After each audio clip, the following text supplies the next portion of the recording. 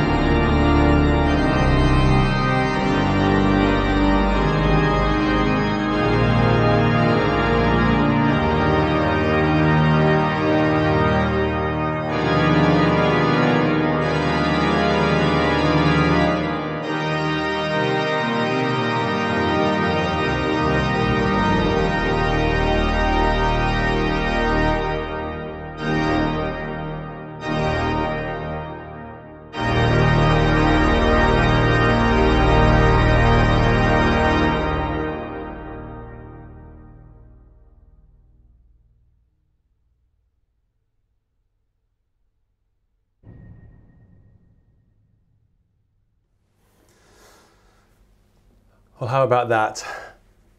The glorious resurrection there, um, depicted by, uh, with the most famous Easter hymn, Thine be the glory, uh, interspersed with a bit of Vierne. I really hope that you've enjoyed this organ album today, and um, I think the music of Paul is um, very exciting, and he is certainly a an organist and a composer to look out for, and I can't wait to feature him again on the channel. We do have just one more piece um, that I'd like to play for you. It's called a festive postlude, and as we are in the season of Easter, I think we ought to have this festive postlude. It's in C major and it's um, it's rather fun. So this is the um, this is the encore, festive postlude by Paul Fey.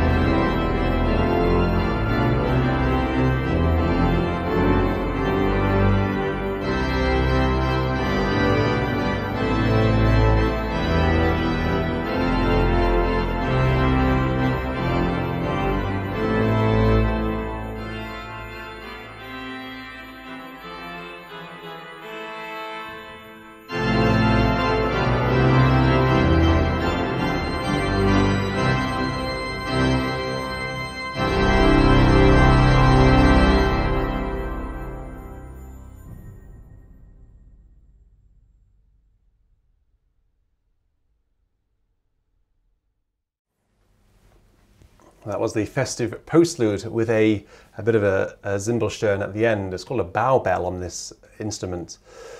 Um, I do really hope that you've enjoyed this organ album today. Um, if you have, please do um, consider leaving a donation. Proceeds will be split between Paul himself and uh, my new organ project, details of which are elsewhere on the channel. You'd also like to consider becoming a patron, that would be terrifically appreciated. Details are on the screen right now.